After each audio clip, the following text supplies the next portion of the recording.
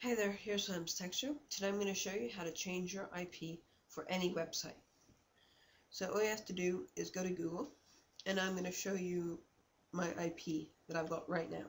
So what's my IP? And now here's a website, I'll click on here and it starts with 69.134.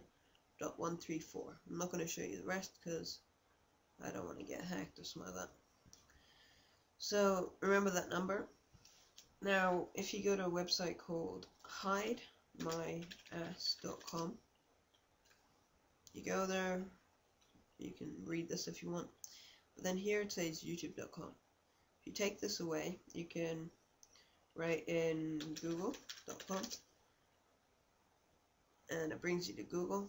And now if I write in hide, uh, if I write in what's my IP, it's the same website and this time it starts with 67.159 so you can um, with a website that allows you only to download two times or something like that you can download four times.